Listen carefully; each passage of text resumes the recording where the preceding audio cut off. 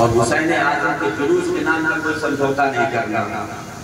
बिल्कुल उठाओ और निकालो हुसैन के नाम का जुलूस। शान के साथ निकालो। और जिसे जन्नत चाहिए, जिसे कल कयामत के दिन हुसैन के अलग अलग साय में रहना है, वो आज हुसैन के अलग अलग साय में चाहिए जब दुनिया में अलग हुसैनी के साय बनाओगे, तभी में अलग हुसैनी मिलेगा। दुनिया में हुसैन के अलग से बगावत करके आखिरत में उम्मीद न लगाना नबी के घरवालों से मोहब्बत करो। नबी के लिए बैठ से मोहब्बत करो। ये सैयदा फातिमा है, बड़ी अजीम शख्सियत है आपकी ये उम्मत पर एहसान है सैयदा इस उम्मत में एहसान है। नबी ने फरमाया, मेरी फातिमा, मेरे दोस्त का टुकड़ा। मेरी फातिमा मेरे दोस्तों का टुकड़ा है। हज़रत इमाम मोहम्मद से पूछा गया, ये बताओ कि सैयदा फातिमा ज़्यादा मरतबे वाली है या हज़रत मरियम? जनाबे इमाम मुहम्मद फरमाते हैं कि मैं नबी के जिस्म के टुकड़े पर किसी को फजीलत नहीं दे सकता। मैं नबी के जिस्म के टुकड़े पर किसी को फजीलत नहीं दे सकता। मेरी नज़र में सैयदा फातिमा सबसे आला है। जब बाद में कहा, हज़रत मरियम का सिर्फ़ एक निस्बत हासिल है, वो जनाब ईसा के साथ और सैयदा को तीन निस्बतें हासिल हैं। पहली निस्बत तो ये है कि आप नबी मुस्तफ़ा सल्लल्लाहु अलैहि वसल्लम की शहजादी हैं।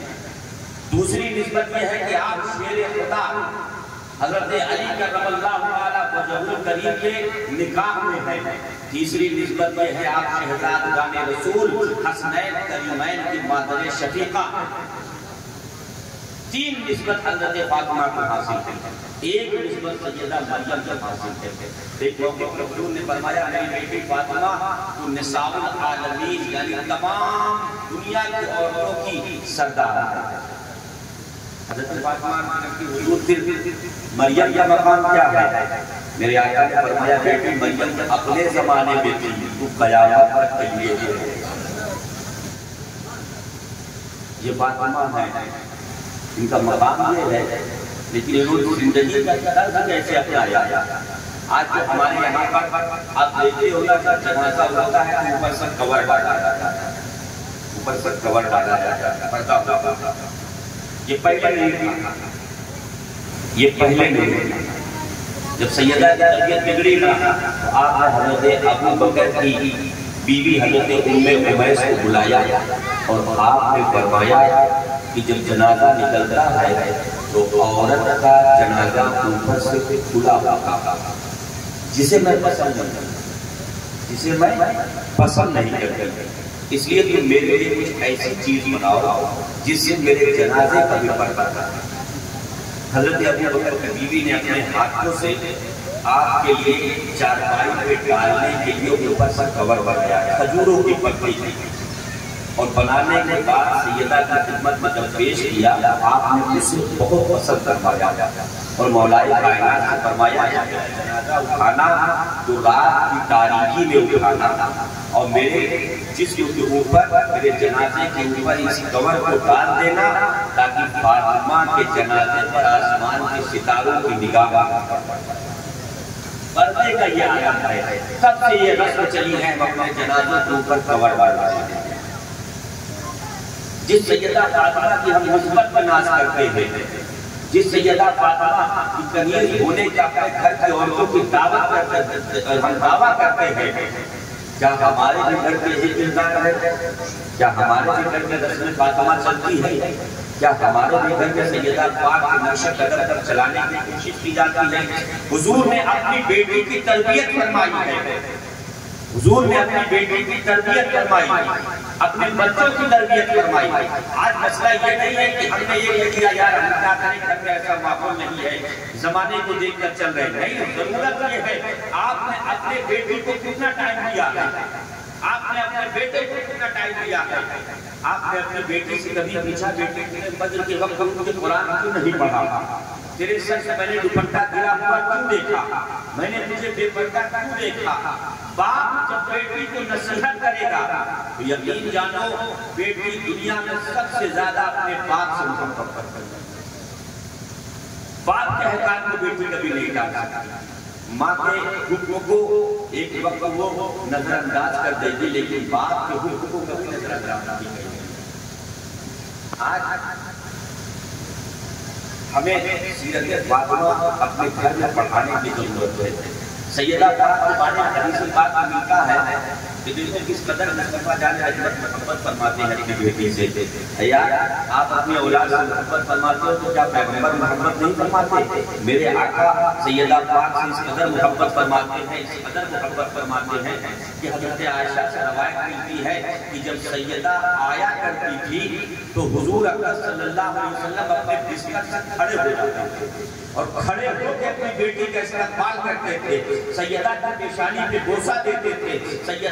अपने बाप के दस्ते मुबारक को चुमा करती थी। ये मोहब्बत थी सैयदा पाक से हुजूर सल्लल्लाहु अलैहि वसल्लम की। और ये अकीदत थी, ये अदब और इकराम था सैयदा का कि अपने वालिद से इस कदर मोहब्बत करती थी।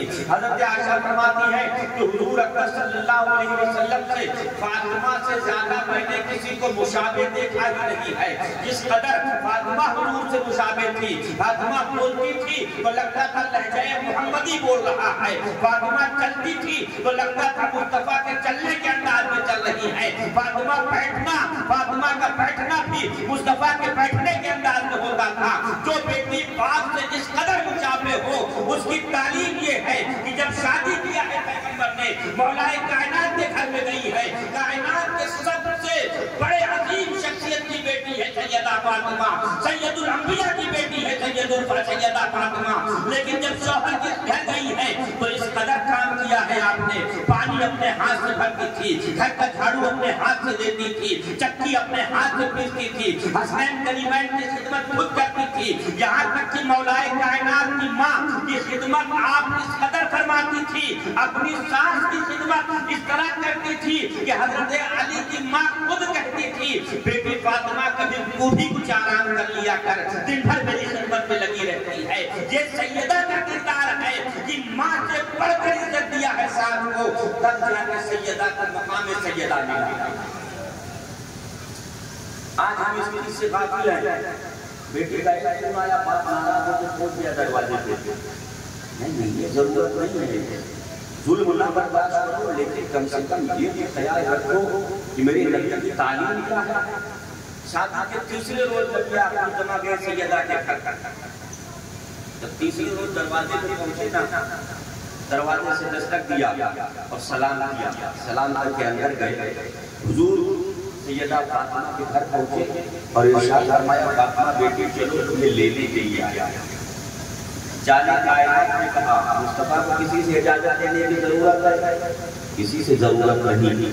फातिमा भी मुस्तफ़ा की, अली भी मुस्तफ़ा की इजाज़त की क्या सैयदा जब हुजूर ने फरमाया सैयदा फातिमा को तुम्हें लेने के लिए आया सैयदा कहती है बाबा जान आप मुझे सिखाया है कि जब जब लड़की की शादी हो जाए तो उसे अपने शौहर की इजाज़त के बगैर घर से कदम नहीं निकालना चाहिए उसे अपने शौहर की इजाज़त के बगैर घर से कदम नहीं निकालना चाहिए बाबा जान अबल हसन बाहर काम से गए हुए हैं।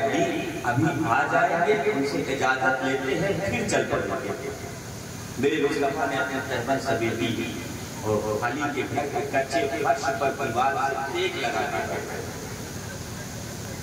अली के घर के कच्चे फर्श पर दीवार से टेक लगा के बैठे ये कौन बैठा है? बेटे को ले जाने के लिए एक बाप या एक नबी बैठा है। तालीम उम्मत के हिसाब से सैयदुल अंबिया बैठे हैं। जमाने को बता रहे हैं कि देखो घर कैसे चलता है। निज़ाम ज़िंदगी कैसे चलेगा? ये इस्लाम इसीलिए तो कहा गया है ये दीन मुकम्मल दीन है। इस दीन में पैदाइश से लेकर कब्र की गोद तक हर चीज़ का निज़ाम मेरे मुस्तफ़ा ने दे दिया है। बैठे हुए हैं पैगंबर। मौलाए कायनात आए। हज़रत अली ने हुजूर को देखा, सलाम किया। कहा, या रसूल अल्लाह खैर है। हुजूर ने फरमाया, हाँ, अली, अपनी बेटी फातिमा को लेने के लिए आया तुम्हारी इजाज़त चाहिए। अगर तुम इजाज़त दो तो फातिमा को ले जाओ और अगर ना इजाज़त हो तो फातिमा को रहने दो मौलाए कायनात की आँखों से आँसू बहे। अर्ज़ किया, या रसूल अल्लाह अली भी आपका, फातिमा भी आपकी। इजाज़त किस चीज़ की? मुस्तफ़ा ने कहा, अली, तेरा मेरा हर हर कदम मेरी उम्मत के लिए दर्श है। आज जो मैं यहाँ करूँगा। कयामत तक वही मेरी उम्मत करती रहेगी। तालीम उम्मत के लिए है। उम्मत को बताने के लिए है यही से ये पाक है। अपने घर में चक्की पीस रहे हैं। और जब पीसते पीसते तीन दिन का फाका था, भूखी थी। कुछ खाने के लिए नहीं था। तीन दिन से भूखी थी। नींद आई। सो गो। हज़रत सलमा सैयदा से मुलाकात के लिए गई। तो दरवाज़ा बंद कर खिड़की से झाँक के देखा तो सैयदा सो रही है और चक्की घूम रही है। सैयदा सो रही है चक्की घूम रही है। जब ये मंजर देखा तो मुसलमान सलमा घबराई भागते हुए हुजूर की बारगाह में पहुँचे। अर्ज़ करते हैं, या रसूल अल्लाह मैंने अभी फातिमा के घर में अजब मंजर देखा है। मैंने क्या देखा? कि फातिमा एक जानिब सोई हुई है और चक्की अपने आप चल रही है, लेकिन चलाने वाला नज़र नहीं आ रहा है। मेरे मुस्तफ़ा के आँखों से आँसू आए। पैगंबर इरशाद फरमाते हुए सलमा, सुनो, मेरी बेटी फातिमा तीन दिन से फाके से है और वो चक्की पीस रही थी। अल्लाह ने फातिमा पर तीन का गलबा कर दिया है और एक फरिश्ता मुकर कर दिया है जो फातिमा के घर की चक्की पीस रहा है। ये मकाम ये लड़का का